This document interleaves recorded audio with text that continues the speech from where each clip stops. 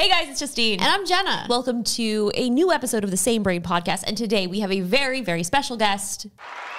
Let's roll that intro right now. So I'm very excited because today on the podcast we have James Rath, who is a legally blind filmmaker. He, he's editor. He also plays video games, and I first met him at E3 because An I incredible human. been watching his YouTube videos, so I kind of I had a, like a fangirl moment. I was like, oh, "It's James!" And everything that he's been doing for the accessibility community is incredible. So I'm so excited to have him on the podcast today. All right, let's let's Zoom call in to James. James, hello! Thank you so much for joining us on the Same Brain podcast. Thank you so much for having me. This is amazing. So I was thinking like the other day, whenever I reached out to you about being on, I was like, your story is incredible. Everything that you've accomplished. And I just feel like I'm so honored to have you here, like chatting about sort of everything that you've been doing. So thank you again. Uh, I guess maybe do you want to start and just kind of tell us like a, a little bit about like your story, how you got started? Yeah. Uh, so, I guess long story short, uh, I'm legally blind since birth, and that has really helped shape the way that I, I make content. I make videos. Uh, I do some directing outside of YouTube, but YouTube has always been sort of like this home for me. I joined the platform when I was about 10 years old, uh, which is kind of wild to think about. And just really, I grew up with it. it. It was one of those things that's always been a place where I could just share my craft. And eventually, people kind of asked me, your eyes look a little different. Uh, they're they're shaking. They're they're uh, involuntarily moving. And so I made a video talking about that. And, and eventually, people who had a similar condition found it, saw it. We talked about it more, built a little community around that. And um, as I became an adult, I wanted to see what accessibility was like out there, like outside of what I grew up learning. in. so YouTube just became this community where I was learning from other people, different disabilities, and other people who come from different um, types of blindness. And it really became this this educational community uh, that has really helped be a support um, system for me, and it's really helped shape an accessible adulthood for myself. And I think everything you've done too has really kind of helped creators kind of realize that we can be creating content more accessibly as well. Because, you know, normally I think we take a lot of these things for granted. So I think you and a lot of other people in the community have done such a great job of sort of like kindly educating us because it's like if we don't know, it's like how are we going to get better and to try to improve and create things. So is there any like tips that you have for creators that can help make more accessible content? Yeah. Uh, so like off the bat, one of the easiest things you can do, uh, which YouTube makes it fairly simple, uh, is captioning. Captioning is something that helps deaf and hard of hearing folks. Uh, it's great for non-English speakers. Also helps with the SEO. So if you want to get into like the real technical of it, uh, every word in the transcript of your captions is counted towards metadata. So then that helps uh, the Google and YouTube search. And so if I mention a word in my video, that's going to kind of push the algorithm a little bit towards it. Um, along with that, you can of course start with a template of like the YouTube auto captions, but it's not great and it's not uh, really standard. I, I, would say it's it's not going to be of quality. So you can always go into YouTube's uh, editing captioner and essentially take that and just correct the grammar, add um, you know fix words that that might be not the right word or even inappropriate words because it's it's not perfect, but it's a good base to start from, especially if you want to caption for free. And then there's services out there uh, like Rev who partner with YouTube that uh, can caption your video for like a dollar twenty-five per minute. So. I'm a huge fan of Rev. Oh, I too. actually think that you're the reason that I started using it because you talked about it a while ago and I was like, what is this? Yeah, I actually think so too. Yeah. I will say the YouTube, the auto generated ones, I remember I, this might have been 2016. I would, did a video like reacting to what YouTube thought I was saying.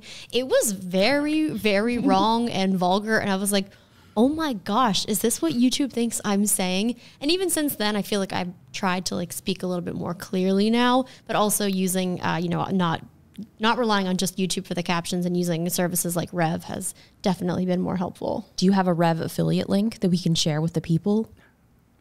Uh, I, I do. Uh, I'd have to probably give that link for Okay. the description or something. Yeah, something. no, send me the link and we can let people check it out. But it's honestly, I feel like for me as well, like it's it's so easy and it's like the money that you're spending is it's definitely worth it to make it more accessible. And something that somebody once had told me like in the comments um, which I never even realized that I was sometimes doing, is just trying to be more descriptive about like when you are unboxing or showing things, like what does it feel like? What does it actually look like? And kind of try to be more descriptive for people who aren't able to visually see what you're kind of explaining. So that was something that like I never really thought about either. So I think for creators, that could also be kind of a good tip.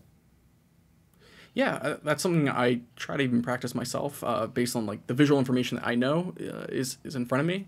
Um, but yeah, and and that's just again if there's text on screen, make sure it's like audibly uh, relayed, whether it's again you or a narrator or text to speech or whatever it might be. Uh, so yeah, that's important, especially because a lot of people do now listen to YouTube videos. They'll either just put in another tab, or for myself, I will just oftentimes use the mobile app with YouTube Premium and just listen to videos. So. And so one thing I think that you know might be confusing to people is there's varying degrees of sort of blindness. So what can you like explain like what that's like and what most people because you see something but you you don't. So I'm unsure how to even explain like what you actually sort of see. I know you have posted some yeah. videos to kind of try to visually represent that. So you guys should definitely check out his uh, YouTube channel and everything so you can kind of visually see that as well. But I, I guess I'm just curious to help maybe explain that to people a little more. Yeah, like most disabilities, there, there's a spectrum to it, and with blindness, it can get a little uh, not complicated, but but yeah, complex. Eyes are very complicated in the sense that there's always these different kinds of uh, visual conditions. Like sometimes people just see tunnel vision, or they have black spots in their eyes, um, or it's just fully blurry and then with that you see vertigo and light overexposes their uh, visions and then colors start to wash out that's how i see personally and so i can really only start to make out the smallest bit of detail and it's it's still considered visually impaired like detail uh, when things are about two inches from my eye which of course doesn't really make sense for me to drive or you know even walk without a cane and stuff in most scenarios um, so for 385 million people who are considered uh, visually impaired or, or uh, even blind, um, all those people have some form of non-correctable vision. Um, so meaning it can never get to 2020.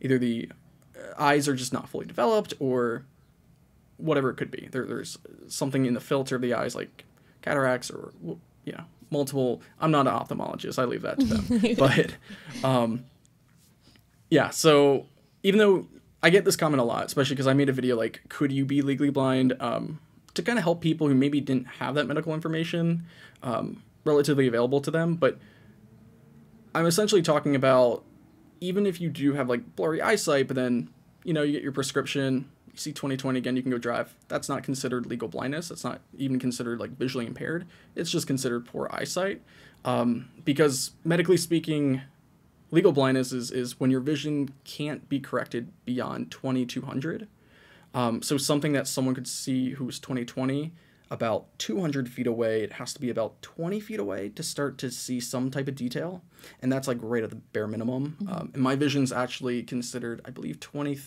over 300 to 20 over 400 um, depending on how much eye strain and time of day and stuff uh, so mine varies and that's very much due to the I have a thing called nystagmus where my mm-hmm. eyes are constantly shaking back and forth, uh, and they're just, yeah, essentially they can't focus and uh, they get tired. They, they like to dance all day and then. no, that that totally makes sense. And then, so one of the reasons that we were thinking about doing this around this time is because of the Global Accessibility Awareness Day, which that is, I believe, I have it written down as May 20th. Is that correct?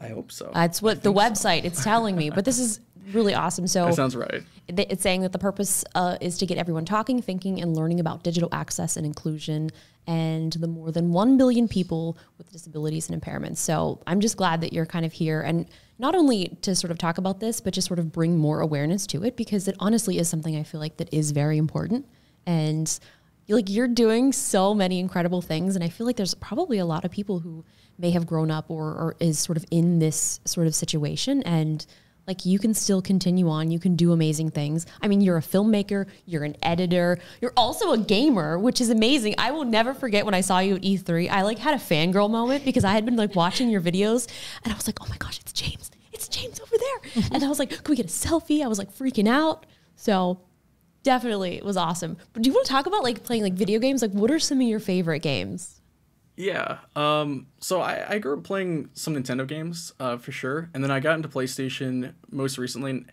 and that's thanks to some of their business practices they've made with accessibility.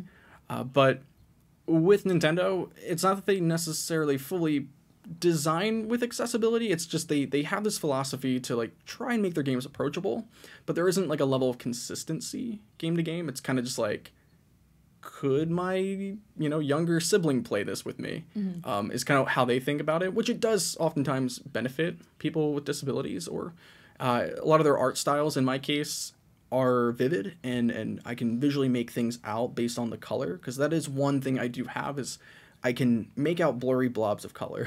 And so mario i know he's red um, you know any of the the goombas are brown and, and so i'm able to kind of make that out. Um, i'm not great when it comes to like those 3d platformers but games like pokemon that were like rpgs that you could take your time with were pretty accessible for me. Um, even if i couldn't read what was happening on screen i learned the sounds of each individual creature and um, i was able to sort of make out the different uh, time durations of each attack and, and stuff like that growing up.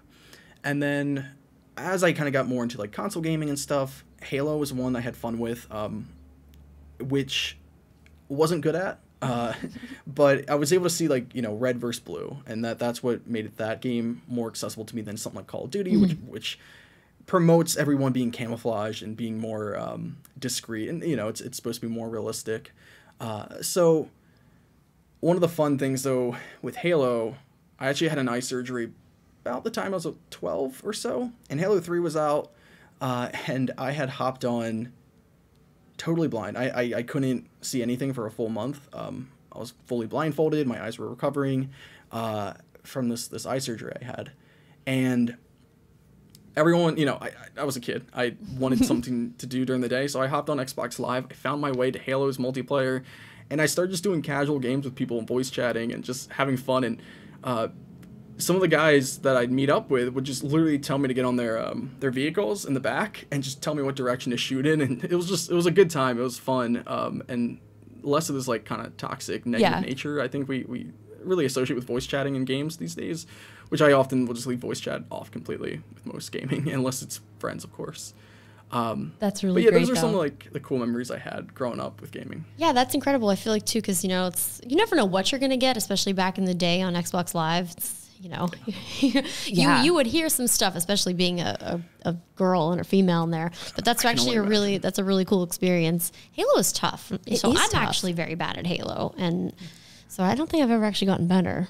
I mean, it's like all those games are very difficult, but Yeah. I think it's at least now, you know, things even like the Xbox, um, the accessibility, like their controller too, has opened that up to a whole new range of gamers and things like that. So I feel like these companies are finally taking notice, be like, look, you need to make these games accessible. And I think, you know, for the most part, I think they're doing a pretty decent job, but I feel like there's still more work to be done. Um, is there any specific thing that like you think that these developers can be doing to make things more accessible?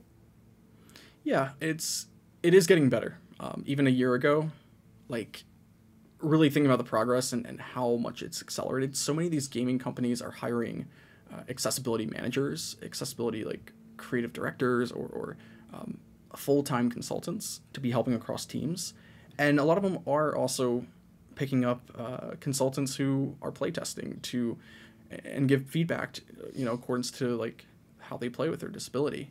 And I had that opportunity with Sony um, with The Last of Us Part Two. That was And amazing. so over the course of two years, I really got to help make The Last of Us uh, Part Two accessible, which was incredible. It was an amazing experience, really watching that game evolve into what it is now, where you have totally blind gamers on live stream playing through the entire game, even on harder difficulties. Uh, and and when you think about a game like that, that's like real time, and it's supposed to be like this story-driven narrative. Um, you, you don't think about a blind person wanting to experience that that story pretty often, but we do. We we we like to enjoy games and, and playing that, even if it's a visual medium. Yeah, and I feel like being descriptive as well and, and having people like you be able to guide them to do it the proper way is awesome. Yeah, and I think too with like the haptic feedback, you know, I wonder if like there's something with there with like the controllers, even like I think there's chairs now that like provoke or that have like the haptic feedback where you can kind of sense like if it's on the left, like there's something happening on your left side. So I don't really know if there's like anywhere that they could improve in that nature too with like that that type of technology. Yeah, there's a lot of things they, they um, that you know can continuously be improved upon. I think some type of level of consistency as a publisher amongst games um, is important. We see some developers have it in one game and then they release another title literally like weeks later, and that game never actually got the checkup on on accessibility. Um, whereas Ubisoft, for example, has been doing a really great job to ensuring that there's like this, um, even if the game itself, like the gameplay, because these games have been in development probably for a few years now, um, even if they're not fully accessible, with the actual gameplay, at least the menus and navigating that has like text to speech where it narrates that aloud, uh, and just little settings like that can make all the difference because we can sometimes just use sighted assistance. It's not ideal, but you know, understanding the current state of play, not really intended Mm-hmm. to be a pun there. Um, uh, it, it's just uh, yeah, that's just kind of how it is at the moment. So you've also done a lot, I feel like, with Apple as well. Not only working at the Apple store, which was also exciting whenever I would see you there too. I'm like, oh my gosh, it's James. So hyped. Uh, but like, what do you? Because I think because we obviously use phones much differently, and I think that there's so many accessibility features that even me myself, I've never even kind of dive like dove into all of the things that are available. For so for you, like, how is using the iPhone different? Like, what features for you are like key? Yeah, there's uh, two in particular that really make all the difference, and that is voiceover. And voiceover rewrites the way that you like interact with your phone. It's essentially putting a, a filter over um, between your finger and the items on screen, and it puts a cursor that then whatever that cursor is currently landed on, it'll narrate what that is. It'll also tell you what actions can be taken, or if it's you know something like a button that is grayed out at the moment, so you can't interact with it, then you got to figure out, all right, well, is there a dialogue box or something? Uh, but yeah, there, there's all these cool things built into the iPhone, and, and VoiceOver is one, and that's been around since the 3GS, since uh, the, and actually on the Mac side, it's been around since uh, the iMac G4 and Tiger. So they then ported, they, I think they maybe didn't figure out how to do it right away, the perfect way, uh, when the iPhone first launched, but it did eventually come within about two, two and a half years.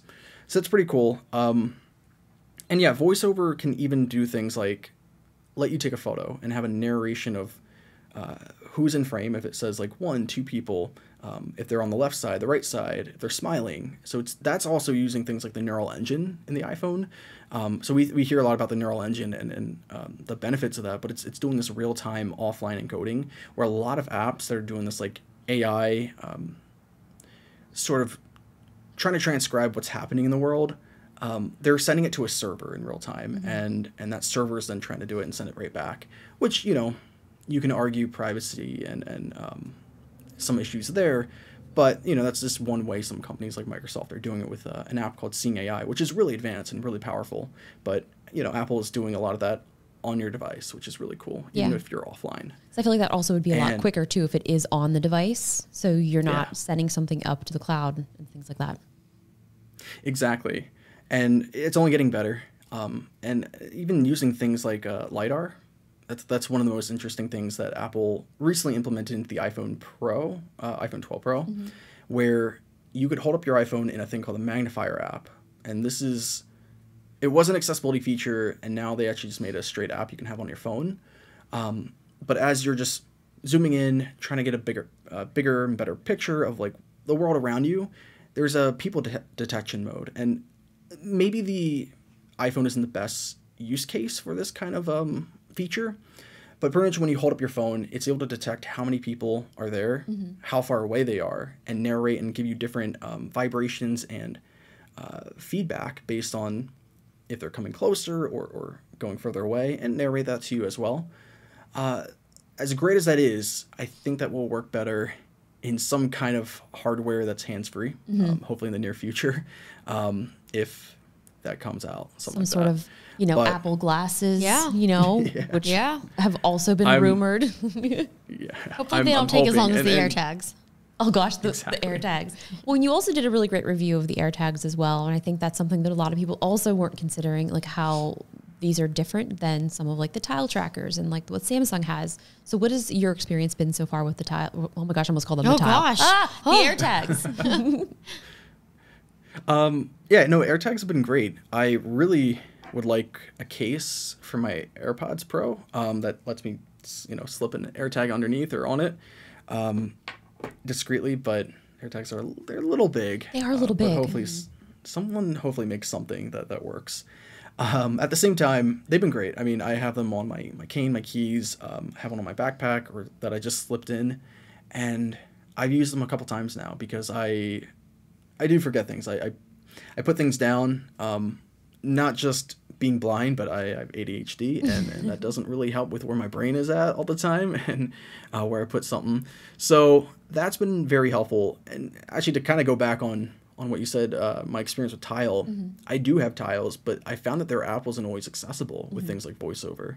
Uh, there was hiccups I ran into uh, quite often, so it kind of made my Tiles a little obsolete to myself. Um, so you know, investing in this product and then turns out the app doesn't even fully work for accessibility. Uh, that was kind of a disappointment, but it was nice knowing that Apple had that uh, precision finding feature, which was super helpful. It works very well. We did a little mini scavenger hunt, and Tyler, he was hiding them around and hid one like in my coffee maker, like inside of like the coffee beans. Oh. And I was like, oh, this is crazy. I mean, it took me right to it. And like the sound, I will say that my one, it's not even like really a big complaint, but like the sound, it's like a weird echoey sound. So it kind of, I feel like it confuses me. Like it's sort of, you can't really pinpoint where it is because it's like an echo type sound. So I feel like I was struggling to find it because the sound kind of like makes this echo and you can't actually pinpoint exactly where it is. The AirTag itself. Yeah. It can't be a worse sound Yeah. than the tile sound. The tile is pretty terrible. Like when I hear it in my backpack, I'm like, oh, what is it? It like scares me every time. I'm like, that's so, that's a terrible sound. but it is great. I mean, like the precision finding and the fact that, I mean, it's just like your phone will actually take you right to it. It's pretty cool. Yeah, it's, it's I mean, it's quite amazing. Um, just being literally guided to until I can feel it. So Mine aren't here yet, so I, I haven't gotten to experience it, but it's okay. I'm excited. and I'm ready. And uh, Justine's not sharing. No, but it's okay. I can give you the one that because Apple sent like the review unit, and there's one that they they sent with like the letters, like the initials. I was like, "Who's EWC?" I was like, "That's not me." That's, yeah, no. And yours was it? Were they like rotate or flipped? So it was kind of like your name. Yeah, like literally had my initials, but then my last name was first, and I'm like, was this intentional? Was it not? Probably not. But I think they just enough. put some letters on it so you would know. Yeah. but uh, WWDC is coming up very shortly. Oh I don't know if you know any secrets or anything. I know, of course, we're not going to tell. But do you have any like predictions or anything that you're looking forward to as far as, I mean, anything is concerned, really? Yeah, I I mean, I, I don't know anything. Um, I don't either. I know nothing more than. um, but there's some things I'm definitely hoping. Uh, I'd love for the 27 inch iMac to get a nice update with um, maybe an M2, an MX, whatever it might be, uh, chip, and then maybe less chin. It's okay to have a little junk in the trunk, you know. I, I just the iMac with the 24 inch, it had quite a chin. Um, and then even for myself, someone who can see color, but I edit video, black bezel, I, I would prefer over the uh, the white. But right now, I haven't seen it. I know nothing, and I want the pink one. I was very surprised by how thin they were. Very, So very thin. thin. Yeah, even though the headphone jack is now on the side. Yeah. which is I just not a bad place for it. Yeah, it kind of makes sense. I feel like, but also then I just keep thinking, I'm like, how easily can this be knocked over? Because I am, I am a reckless human being. You are. Oh. One thing that I thought was kind of cool was the the new one. They didn't call it MagSafe, but like the magnetic power adapter that then leads to the power brick that has a built-in Ethernet, which is kind of cool. that is pretty cool. Yeah, so as I was watching the event, um, we Apple also provides audio description, so a live voice actor who is just like describing what you're seeing. That's cool. Um, and they described that like there's four USB-C ports on the back, and I'm like, okay, is that it? and then I'm like, what about my Ethernet? I always use Ethernet now. And then yeah, what hearing about what they're doing with the power adapter was like really cool. I, that I do want to see that more in like future products as well. yeah, and Yeah, I also sure. like the braided cable that they have.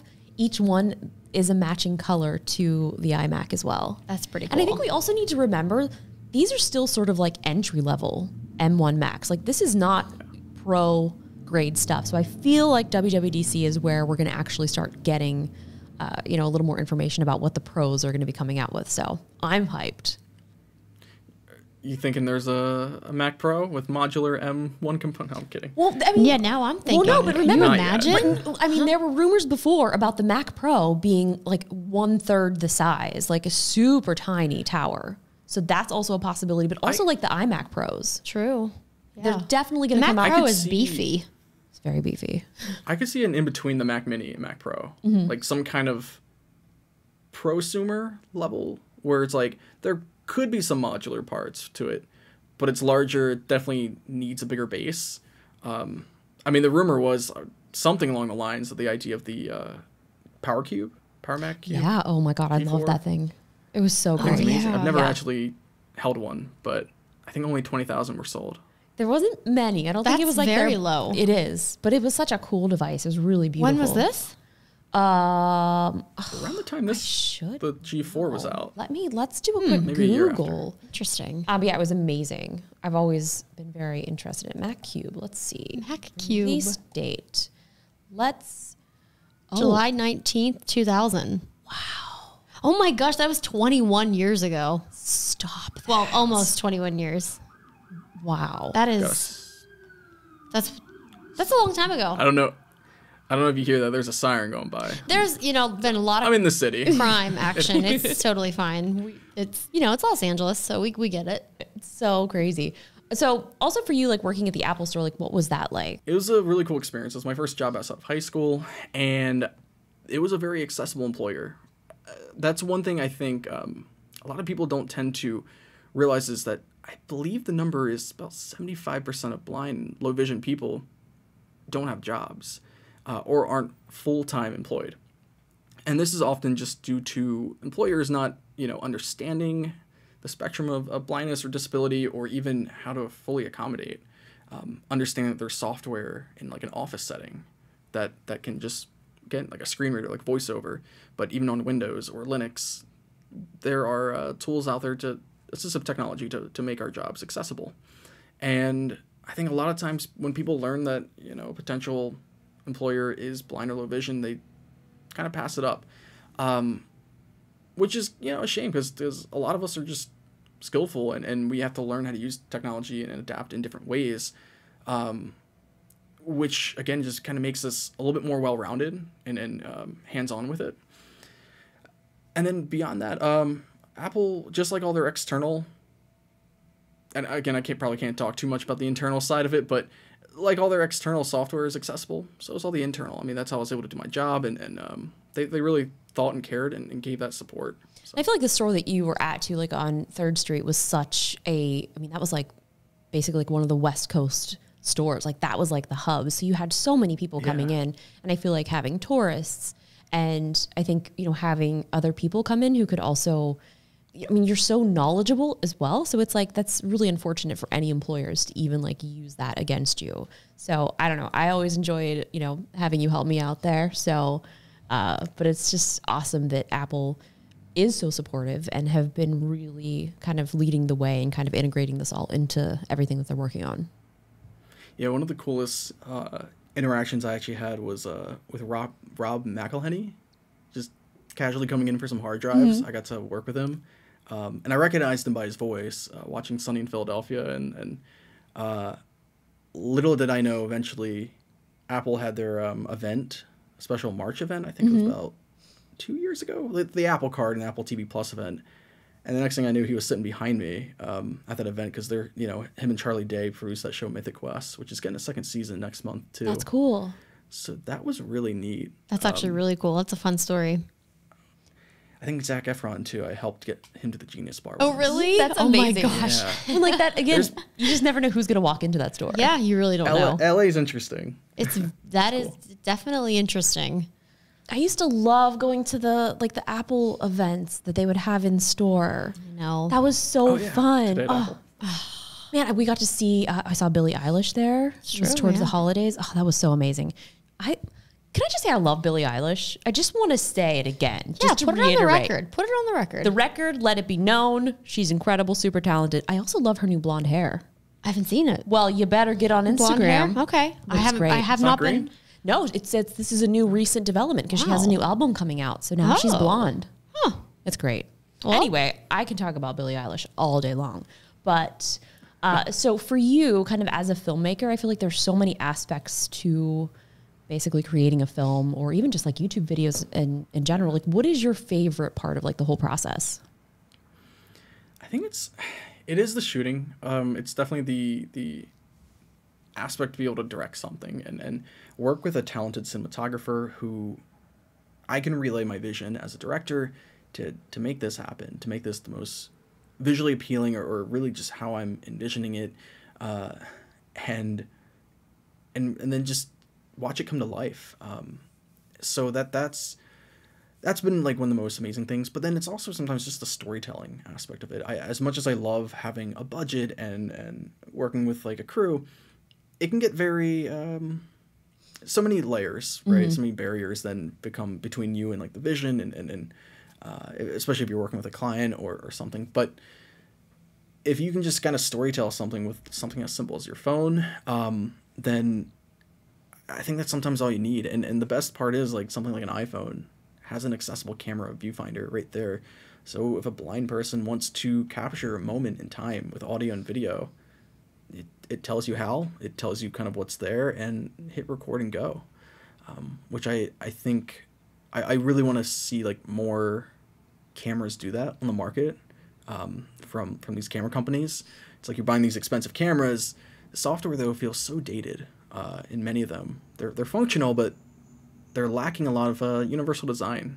It is weird because you're it, you're right. It's like it, the the software itself feels so archaic. It really does. and I know. even like doing firmware updates i feel like that's even a process as well that, Mm-hmm. to, to do that are there any camera companies that you've worked with that you think either could be doing things more accessible or i don't know i guess that you've even worked with to, to offer suggestions Yeah, I mean, I've never worked with any directly. Um, I've used Blackmagic for a while. I really like their simple user interface, um, and I think at the time it was just that look I was kind of going for. As I've sort of went more into the route of YouTube and and needing a faster, more accessible workflow, uh, I've gone the route of like Canon. And Canon, I've always been a big fan of their autofocus. That's especially when I'm, you know, self shooting. That's one of the more important aspects is having good and, and, and consistent autofocus. for sure And then I've heard good things about Sony. Um, and I know Sony as a company is trying to work towards accessibility more. I haven't again worked with any of these companies. If any of them want to try and get some consulting on how to make their cameras more accessible, I'm open to that. Because I, I'd love to really see like my DSLRs, my, my documentary cinema cameras just become more accessible. Yeah, no, I mean we do so much with Sony, and I feel like their autofocus. Honestly, sometimes it's too good. Like when we're trying to take pictures of products, it'll see just a piece of my eye, and it's like focusing on. I'm like, Yeah. no. So we have to do like this weird thing where we like hold the product up, and then we'll just like hide, Hide behind it. We hide our face, get the focus, and then take it. So, I mean, definitely something to to maybe look into in the future. But I mean, it's also like all of these cameras, no matter which one you kind of get, like they're they're really good. Mm-hmm. And I, I mean, I was a Canon person for for a really long time, and they've obviously upped their autofocus as well. So it's just it is great to be able to just have these devices kind of just shoot for us. But man, the iPhone, like you just really can't beat that the camera quality. And I love their consistency between the lenses too, because I think that's something that's difficult for a lot of you know other phones to be able to do is get that consistency across the color and like the zoom and everything. Yeah, the software plays a big role with these smartphones to like make them look as incredible as they do with these small sensors. Um, I think they're they're fantastic wide cameras and they're great for establishing shots or just if you need to get that wide look. Um, and even some telephoto opportunity, like if if the iPhone's 2.5 uh, for the iPhone Pro at least, um, that 2.5 times zoom lens actually still looks pretty good and you can set up a shot to to get some decent bokeh. Uh, it's not great especially compared to like dslrs you can definitely if you want that kind of shot you know what camera to go for. But on the fly if you just need that for a photo or even a quick video clip you can really do some amazing things with just an iphone alone with those three different lenses There'll definitely be times where I've forgot to film something and I'm like, oh, I don't want to get out my camera. I'm just gonna shoot it on the iPhone. They'll never know. And really, you can't when you're mixing it in and just doing shots. And as long as it's pretty decently lit, like you're not going to be able to tell. But sometimes when it's like too lit is when it looks weird. So it's like funny that the iPhone is sometimes better in like low light because mm-hmm. I'll notice like especially in the front facing camera if I have my like aperture light on and I go to film I'm like oh my I am like way too bright. But then I just you know do the little touch and drop down the exposure and it looks good. But yeah, the iPhone in low light is very very good. Is there something that hasn't been created or that is like way too expensive that you think would be a game changer for you as far as basically like anything? Like what would what would that be? Like is there something Yeah. missing? there is like so okay cameras being accessible would be great like if i could have like a text to speech or a much greater zoom on the operating system of mm-hmm. just our point and shoots and dslrs and whatnot but i'd say like one of the more ideas of like an accessible camera would be like a hands-free pov camera um, which i know google glass did this i had Yeah. a pair myself but i also understand the concern of like privacy right with with the camera having on just your glasses and stuff Um, so I guess like if I love it though for action shots and and I mean a GoPro is cool. GoPro has that look, but if I could have like a, a camera just just on my like regular sunglasses, um, if I'm you know paragliding or or uh, you know going a little extreme there, but you know uh, skydiving, I think that'd just be really cool. Um, I've always wanted something like that, and then the idea of uh, just AI and AR in glasses could play a huge role in in helping people who are visually impaired even though like a lot of us wear sunglasses due to light sensitivity also known as photophobia. Um, we could benefit from like some kind of ai that that reads signs. It recognizes a sign it tells us how far away we are from it and then it just narrates what's on it. Like if it says you know exit or or whatever street we're on. That's the one thing. It's like people always ask me whether like i know directions or not. It's like I know my left and right, but I I can't see those signs that you know you're passing by on the street. So I learned my neighborhood based on the sounds, based on like the feel of the, the pavement and um, you know all that. So yeah, um, I think something like AR glasses would be really cool. I do not know my left and right and have true. not forever. Like I it's it's so terrible because we'll be in the car and Jenna's like turn left. I go not Go- left. Goes the, go right. I'm like, but that's not left. I'm like, but that's the wrong way. So if anybody's driving with me, I like I have to tell them, and they think that I'm like completely joking. I'm like, no, you have to say towards me or towards you, or I'm gonna go the wrong way. Like every once in a while, I get it right, but it's, I was like, well, you it's 50% chance. yeah, I don't know, It's okay. but to be fair, I think on a good day, uh, that's when I know my left and right. Most days, though, I, I'll pretend that uh, I will. I, I do. it's so crazy. It's like it's like whatever the words you're saying, I'm like it will not compute. Are you left-handed or right-handed? I'm right-handed. Okay, I'm left-handed, so I don't. I always was like, well, maybe it's because I'm left-handed. That's why I'm confused. I'm not sure.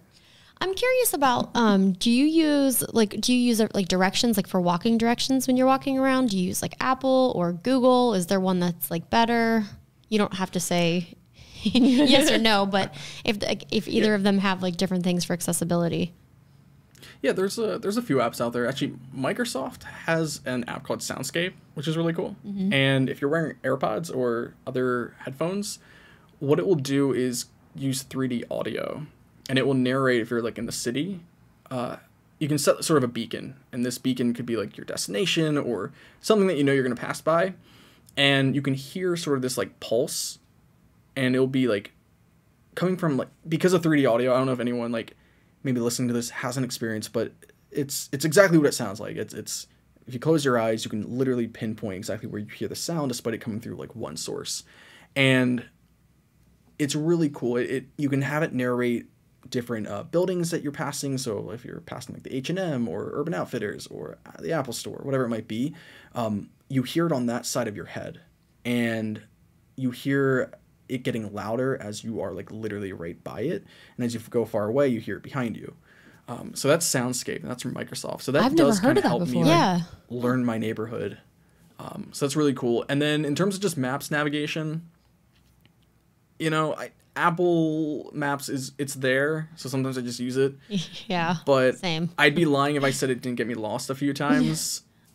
and You're not the never only one. at Apple. No, No, it's, you know that's you just know, they could use some improvement. I I agree, but yeah, Soundscape And that's I'll just open interesting. Google. Yeah.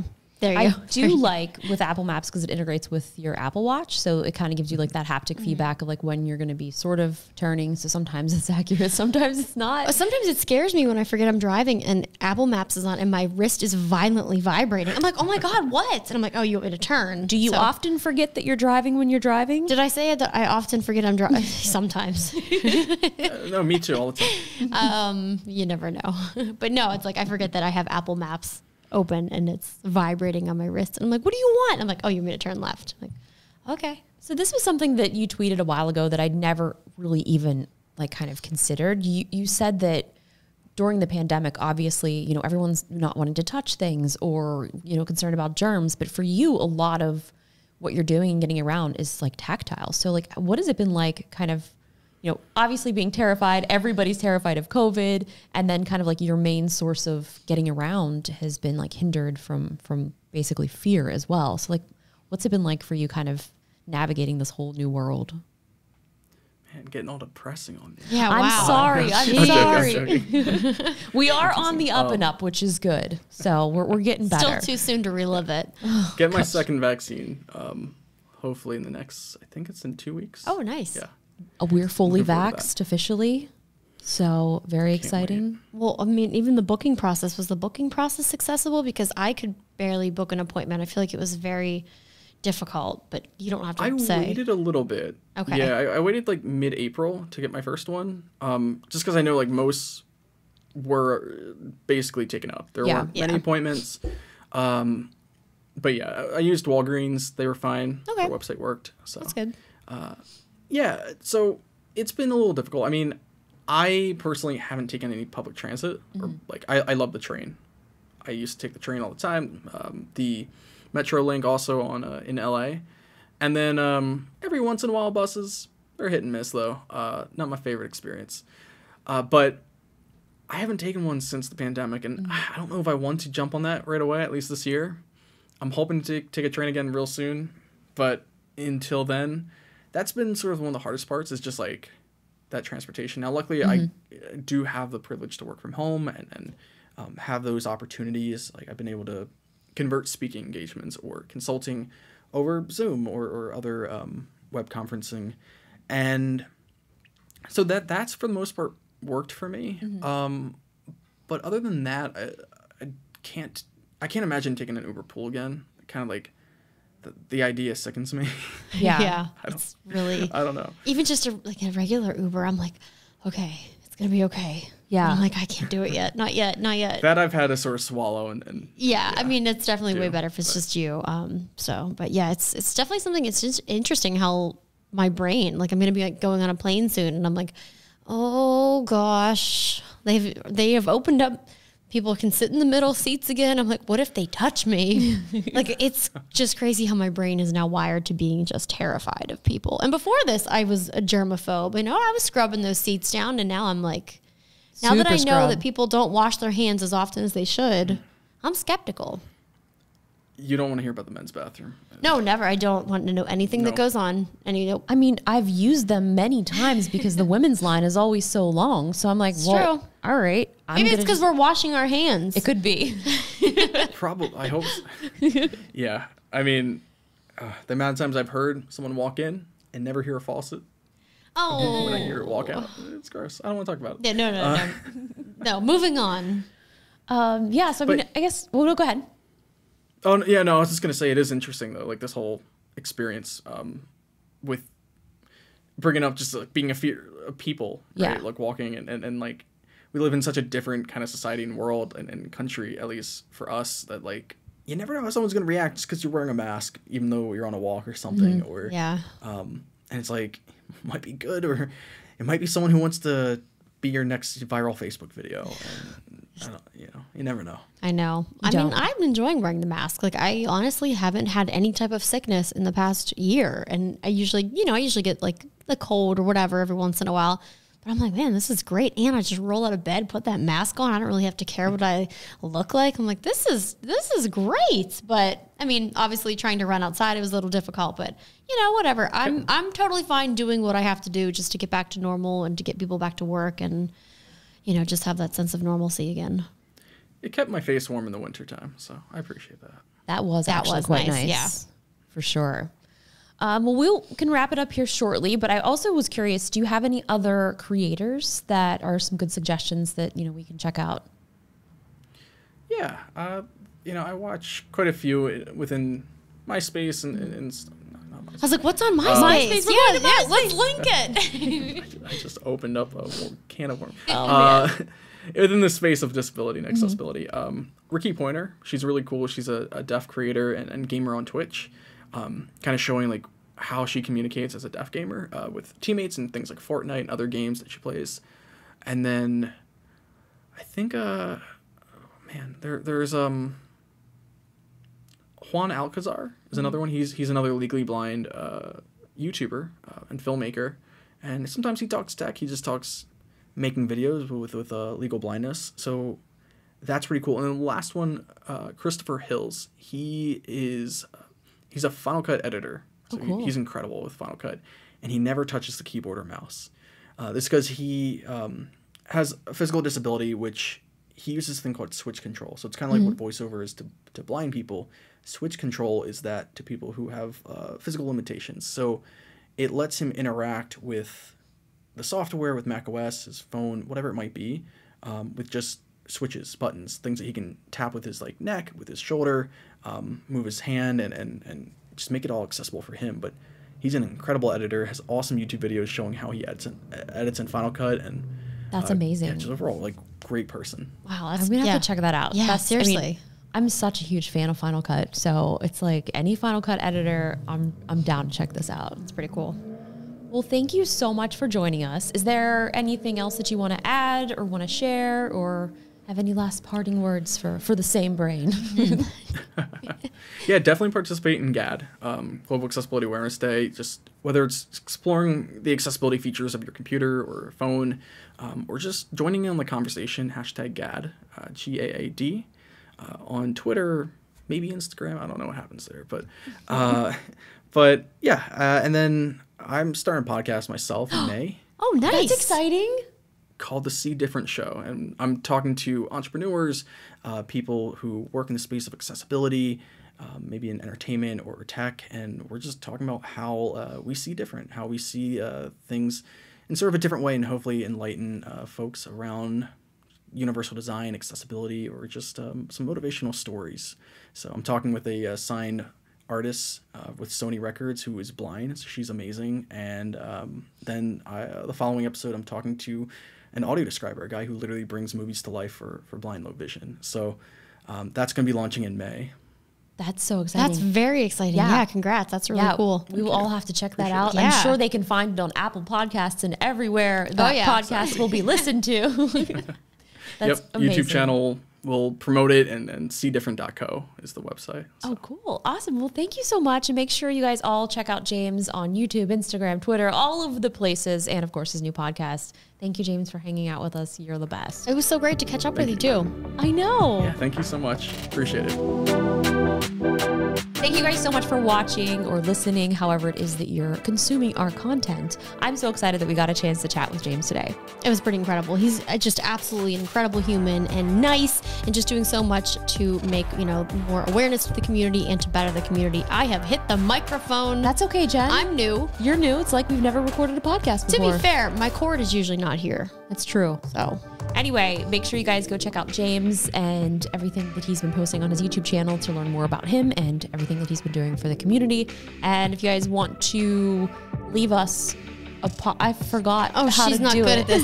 If you guys want to leave us a review, we do accept them on Apple Podcasts. Same Five brain, star five star, please. Unless you know, no, only five stars. Also, we are listening and accepting voice messages on Anchor.fm/slash Same Brain. We didn't do them this episode because we had a special guest, Special guest. and we didn't want to take away from them. So stay tuned for that in the next episode. And now we'll see you guys later. Bye. Peace.